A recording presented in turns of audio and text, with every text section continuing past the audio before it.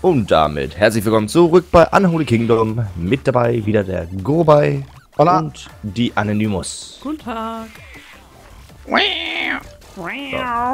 Das ist ein Fox Retriever. Was macht der? Der macht. So ungefähr. ja. Er ist gerade gestorben. Wie machst du eigentlich diese schrägen Säulen, wie du sie an deinem Rathaus gemacht hast, Tore? Carpentersblöcke. Wisst ihr eigentlich, dass Brillen extrem teuer sind? Brillen? Ja. Brillen, ja. So im echten Leben? Ja. Nö, weiß ich nicht. Ja, weiß ich, weil ich eine Brille habe. Ich habe keine. Ich bin auch gute Augen. Ich, ich habe mir jetzt äh, hier für nach Weihnachten muss kurz zu viel mal vorbei und die haben sich ja nach Dänemark geliefert, was ich voll geil fand. Ähm, Aber du kaufst schon in Deutschland, ne? ja, ja, klar. Deutsche kauft nicht bei denen. Ja, bei der oder Stammfiliale. Und, äh? Oh. Jeff Ramsey burnt. What? Okay. Der Ramsey! oh nein, warum musstest du hier ich so dachte jung jetzt auch gerade, ist das nicht tatsächlich so ein Fernsehkoch? Steve Ramsey? Nee, das keine Ahnung. Naja, also Brillen, du hast dir die geliefert. Ähm, ja, und das, das krasse ist aber einfach nur, wenn ich überlege, was ich dafür jetzt, beziehungsweise, meine Mutter war so grüßig und hat gesagt, du warst ja das ganze Jahr nicht hier, im Endeffekt kann ich dir genauso gut bezahlen. Ähm, 200 Euro. Fand ich dann ein bisschen so, what?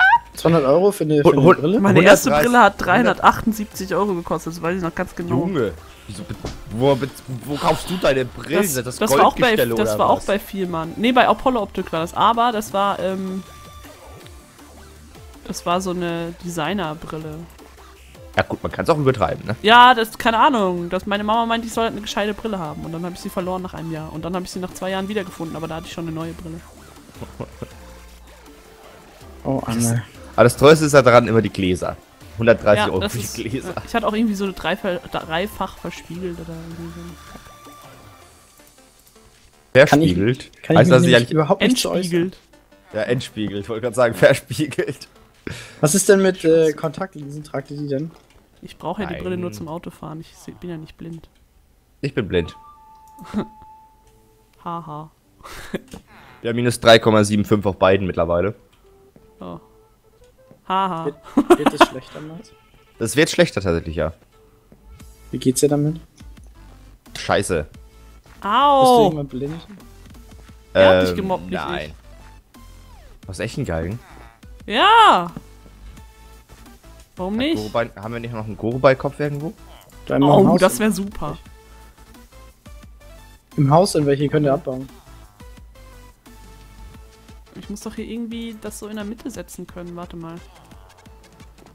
Scheiße, das ist zu dünn. Da muss ich das nochmal ein, ein dicke, ein, ein Sticker haben. Aber dann, dann ist die Frage ja, wie kommt das denn, dass ihr eine Brille tragen müsst? Also, das, ist, ist das angeboren oder ist das... Was heißt, wie kommt das denn? Das ist.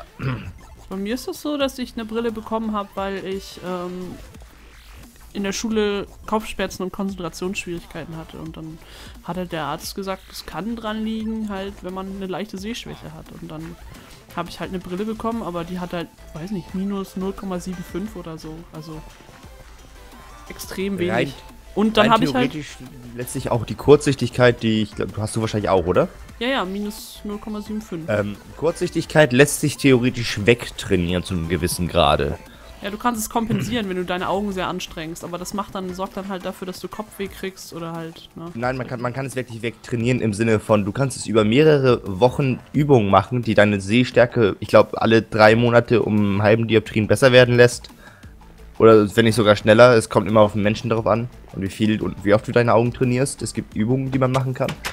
Und ähm, da ist das Problem einfach, hast du mal eben diese, diese, diese Zeit, das zu machen, immer die ganze Zeit, wenn du nicht gerade mit der Brille was tust? Weil Das Problem ist bei mir zum Beispiel, ich sehe ja nicht mal, wenn ich vor dem Bildschirm sitze, gerade mal diese, was sind das, 40, 50 Zentimeter. Ich? Ich, erkenn, ich sehe ja nicht, was auf dem Bildschirm ist.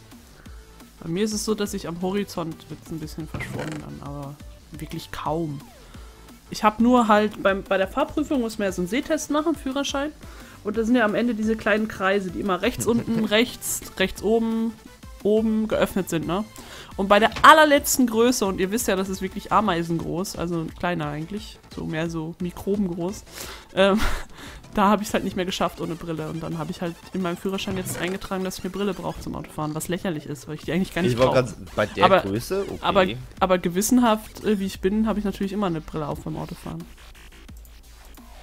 Dieser Sehtest für den Führerschein war ganz toll eigentlich bei mir.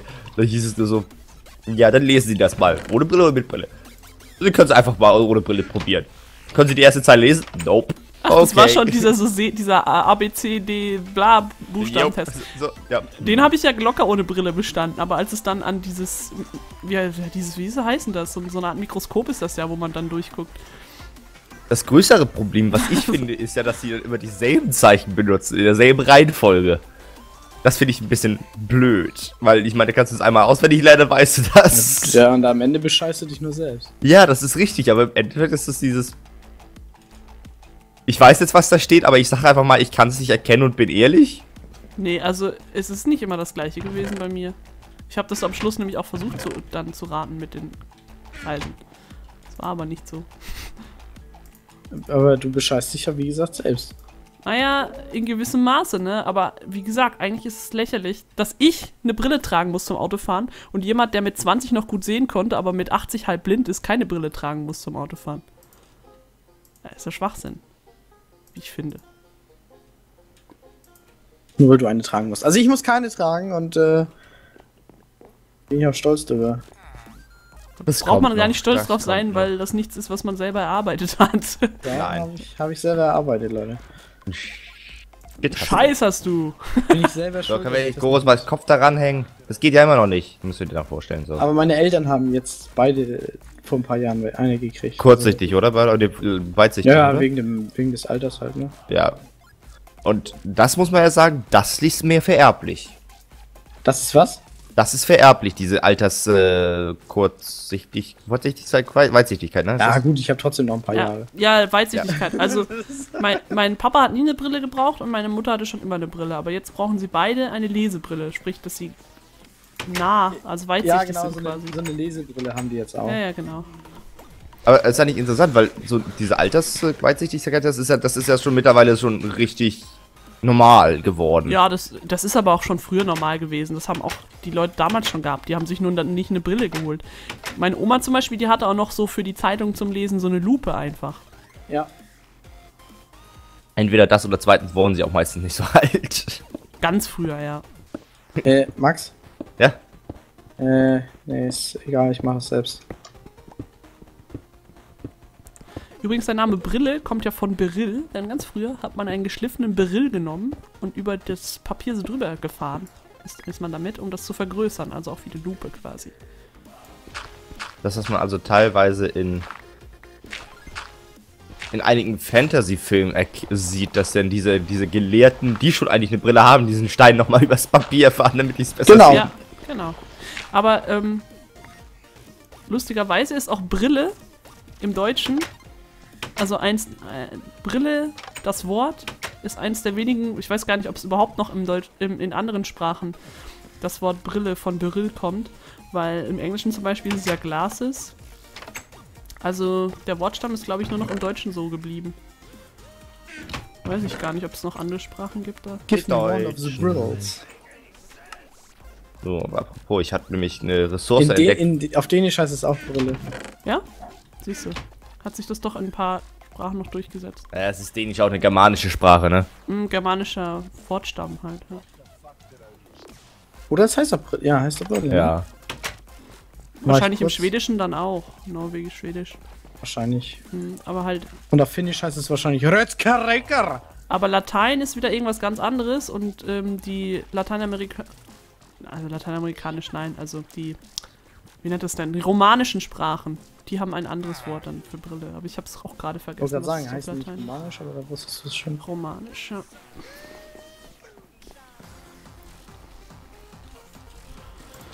So. Ich laufe hier die ganze Zeit hin und her und mache nichts Gescheites. Ich brauche eine neue Schaufel. Ist das gescheit, dass du eine neue Schaufel brauchst? Ich weiß es nicht. Ich gehe jetzt zum Schmied und mache mir eine neue Schaufel. So, angeregte Diskussionsthemen heute, Leute. Was habt ihr denn lieber, wenn wir so rum, blöd rumquatschen oder wenn wir über Themen diskutieren?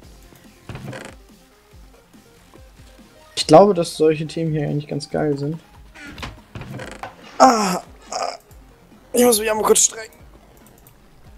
Ja. Äh, Das warst du. Äh, ich dachte so, soll ich jetzt, soll ich jetzt? Ja, ich Du musst hier lang, Max. Nein, ich muss, ich muss runter. Achso, aber Ich ich, wollte mir das jetzt einmal angucken, wie das aussieht. Ach so. Ja, nee, ich muss, ich muss erstmal ähm, hier, äh, äh, ich habe nämlich Nether, Nether, Nether gefunden, Netherstein. Nether, Nether.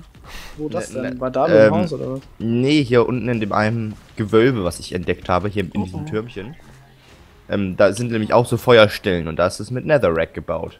Aha. Und den können wir Und das abbauen. willst du jetzt für deinen. Das will ich jetzt äh, klauen. Das Problem ist, da sind ganz, ganz Der viele Monster. klaut! Ganz viele Monster-Spawner unten drin. Ne? Eigentlich wollten wir noch eine Kiste bauen und alles reintun schnell, aber ich hab ganz vergessen. Jetzt laufe ich fast mit vollem Inventar wieder darunter. Ja, naja, Noob. passiert. Der Noob Train. Noob, noob. Den kennt Anne sehr gut. Hat sie eine Dauerkarte. Hat sie eine Dauerkarte für. Bahncard 100 für den Noob Train. Und da unten. Erste Klasse aber. Wenn schon, Erst- wenn schon. Anne fährt nur erste Klasse. Ein Chaotic Creeper. Den lassen wir Es auch lieber ist, da. es ist echt ziemlich luxuriös, erste Klasse zu fahren, ne? Ich habe das ja schon ein paar Mal gemacht. Ich werde mir das demnächst mal gönnen, glaube ich. Das Geilste ist immer noch das eine Mal, wo ich dann im Zug war von Flensburg nach Kopenhagen. Ein deutsches Pärchen stieg ein. Du, ich glaube, wir sind falsch, das muss erste Klasse sein. Es war Standard. Das, weil, weil, ICE E dann, ist- oder? Nee. Noch nicht mal ICE. Nein, das ist nämlich das Geile. Die dänischen Züge sind Sind im so Verhältnis zu den deutschen richtig luxuriös. Du hast wirklich Beinfreiheit, du kannst da schön gemütlich sitzen. Ach, die dänischen Züge sind. Die sind also, dänische Staatsbahn. Ach so, Deutsche sind im, in den dänischen Zug äh, ja, eingestiegen. Deutsche sind in den dänischen Ah, okay. Zug eingestiegen. Ja, ich dachte umgekehrt. Weil die deutschen Züge sind ja zum Teil so alt und abgefahren. ja, diese alten plastischen Sitze da, ey, Klappstuhl da. Weißt du, da kannst du nicht mal, können sie sich das Polster auch sparen, kannst du gleich auf so einer Plastikschale sitzen. Ja, ohne Witz, ey, das Polster ist einfach nur, macht's nur noch unhygienischer und sonst gar nichts. Ach, Das, das ist alles, ja. Das Hier, war's hier dann in auch schon. Kiste gewesen, Max. In so einem komischen Haus drin. Oh, oh, da ist was gespawnt. Ah, ne, das war nur, war nur Stein. Okay. Ich sehe Geister. Aber ja, so ist das. Aber ich gönn, ich, ich wollte immer mal mir erste Klasse gönnen, einfach so just for the lols. Also. Dafür ist es halt dann doch ziemlich teuer. Ich find's halt krass, weil im Prinzip, ne, im Zug hast du ja nur das Ziel, von A nach B zu kommen eigentlich, ne? Und, und du kommst auch in der zweiten Klasse von A nach B und kannst auch da einen Platz reservieren. Und nur in der ersten Klasse zu fahren, nur für den Luxus eigentlich, ist eigentlich schon, wenn man so drüber nachdenkt, ziemlich, ziemlich abgefahren. Für dich jetzt. Brauchten wir jetzt Kürbisse? Nee, nee, wir haben welche im Lager.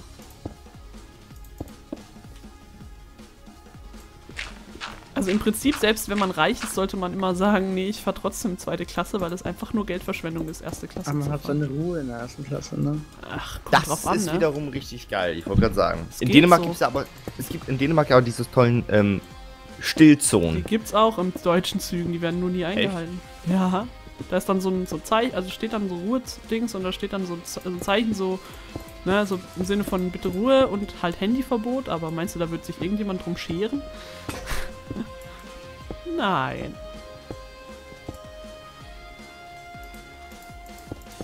Ich habe gerade einen Electric Creeper getötet. Krass. Wie, wie Das kommst Pro- du damit klar? Also das Problem ist doch nachts hier in dem Modpack, dass du keine ruhige Sekunde hast. Das stimmt ist wohl. richtig. Also hier sind ein paar Hero Brians. Ich finde das witzig, wie uns jetzt schon mindestens drei verschiedene Diskussionsthemen eingefallen sind, ohne dass wir es vorher abgesprochen haben. Weil eine Zeit lang für, für Feed the Beast haben wir uns ja immer versucht, Themen rauszusuchen. Das stimmt. Und jetzt hat sich Das das, hat auch sehr gut so funktioniert. Ja. Auf meine coolen Themen wollte ja immer keiner reagieren. Was für coole Themen waren das denn? So erstes Date und so. Erstes das, oder? Date, Max sagt, das privat. Lame. So ist ja der Max. Der alte Buhmann. Bist du hier unten drin, Max? Wo drin? Was denn? Ja, ich bin hier unten drin, aber du hast gerade irgendwas. Da, wo das Was? Feuerwerk rauskommt? Feuerwerk! Ge ge geht mal, hol mal Anne dahin. Ich habe hier einen Schalter gefunden und einen ganz komischen Mecha Mechanismus. Und ich habe den Schalter umgelegt und plötzlich startet ein Feuerwerk. Das ist voll cool. Was? Ich will das sehen. Warte, warte, warte. Du musst zum Rathaus kommen. Ja, ja, mal eine Sekunde. Zur Einweihung des Feuer habe ich noch was Kleines vorbereitet. Warte, Da, warte, da, dann warte. haben wir viele Dispenser, da ist voll viel Feuerwerk drin. Ich will das Ja. sehen. Komm her, Anne. Ich bin gleich Muss ja da. auch irgendwo raus, ey. Ich Zum Rathaus und dann ab ins Wasser. sehen. Aber und dann zur kleinen Insel. Hier hinten. Woo. Gesehen? Nee, ich habe kein Feuerwerk gesehen. Mach den Zombie-Chef tot. Ja, warte kurz. Mach Feuerwerk! Ja, ich muss, ich muss mir erstmal gerade einen Weg rausbuddeln, aber ich will es nämlich auch sehen. Obwohl, ja, ich kann es ja bei euch gucken. So. Anne, warte, warte, Anne ist noch nicht da. Was fliegt hier denn drin rum? Da, wo Oh. das Hähnchen ist, Anne. Ich glaube, ich habe da hier aber irgendwas kurz kaputt gemacht. Hähnchen? Hm, ist nicht gut.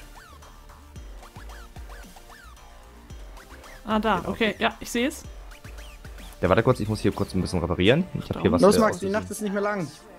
Okay.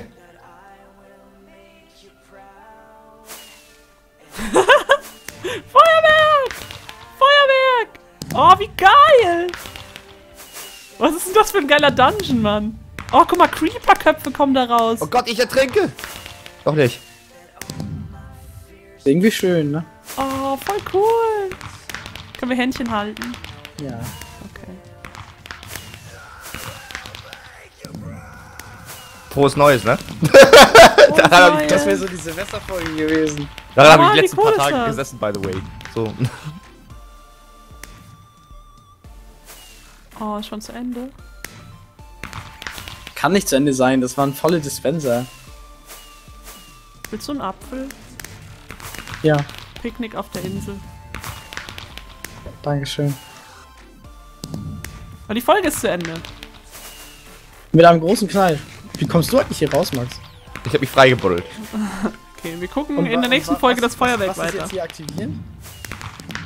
Da unten. Das bleibt jetzt erstmal an, bis dann alle ist. Bis dann, tschüss. Tschüss. Tschüss.